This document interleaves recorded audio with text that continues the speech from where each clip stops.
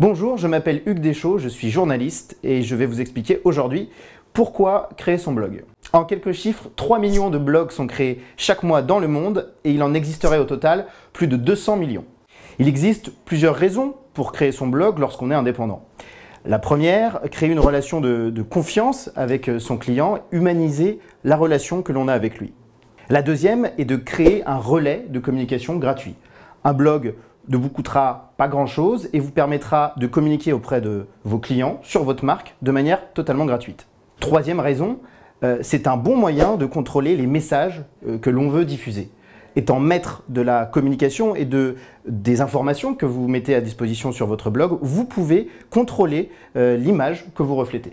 Enfin, la dernière raison pour laquelle créer un blog lorsqu'on est indépendant est tout simplement créer des opportunités que ce soit du business, euh, comme par exemple pour des jeux concours afin d'attirer de nouveaux prospects ou clients, ou tout simplement des partenariats avec d'autres marques ou avec d'autres sites euh, qui souhaiteraient associer leur image à celle de votre blog. Voyons maintenant les différents types de blogs qui existent et lesquels correspondent le mieux euh, au type d'action que vous souhaitez mener. Le premier type de blog qui existe est le blog dit corporate. tout simplement, il consiste à animer sa communauté afin de se positionner en tant qu'acteur leader dans son domaine et de pouvoir parler de différents aspects euh, de votre secteur d'activité. Le deuxième type de blog est le blog dit d'expertise. Un peu comme un blog corporate, il vous permet de vous asseoir en tant qu'expert dans votre domaine d'activité ou dans votre secteur. C'est un blog que vous pouvez avoir en tant que personne individuelle, vous parlez à la première personne avec euh, le je, ou alors un blog d'entreprise, vous parlez au nom de votre entreprise qui souhaite à s'imposer comme l'expert dans son domaine. Enfin, un dernier type de blog existe, le plus connu, le plus répandu, et les premiers blogs qui ont été créés, ce sont les blogs dits personnels. Euh, Skyblog, par exemple, en est un parfait exemple. C'est euh, un des plus grands sites mondiaux, en tout cas de, blogs. Il est français. Et dessus, vous pouvez avoir euh, différentes thématiques abordées en votre nom propre, que ce soit la cuisine, la mode ou tout autre domaine d'activité qui vous tient à cœur. La principale clé de succès et de réussite de votre blog réside dans la ligne éditoriale que vous lui imposez. La ligne éditoriale, c'est la promesse que vous faites à votre lecteur lorsqu'il viendra consulter votre blog. Par exemple, si vous êtes un blog spécialisé en chocolat, votre lecteur saura qu'à chaque fois qu'il vient sur votre blog, il trouvera des articles, des photos, des reportages sur le chocolat. Écrire pour le web, c'est un exercice bien spécifique. Il faut que vos articles soient clairs, compréhensibles et précis pour que votre lecteur arrive tout de suite à comprendre l'information que vous voulez lui donner.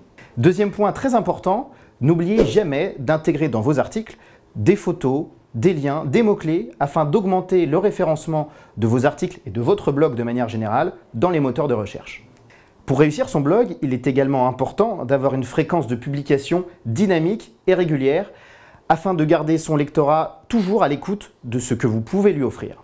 Il est donc recommandé de publier au minimum un article par semaine, voire plus, si vous avez assez de matière et si vous avez assez de choses à raconter à votre lectorat.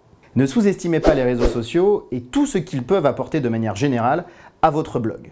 Ils sont la meilleure vitrine, la meilleure communication que vous puissiez avoir pour votre blog. L'une des autres composantes euh, d'un blog sont les commentaires. Ils vous permettent d'avoir un retour de votre lectorat sur vos articles et donc de juger de la pertinence de ceci. Faites cependant attention à bien modérer ces commentaires afin de ne pas avoir de messages haineux ou de calomnies. L'une des questions qui revient souvent lorsqu'on parle de blog est peut-on gagner de l'argent avec un blog? Malheureusement, en France, c'est extrêmement rare et très compliqué d'arriver à en vivre. Cependant, dans certains domaines, notamment la mode, certains blogueurs ou blogueuses arrivent à très bien en vivre car ils sont devenus de véritables prescripteurs euh, dans ce domaine d'activité. Les grandes marques ont donc tout intérêt à communiquer auprès d'eux pour faire connaître leurs produits.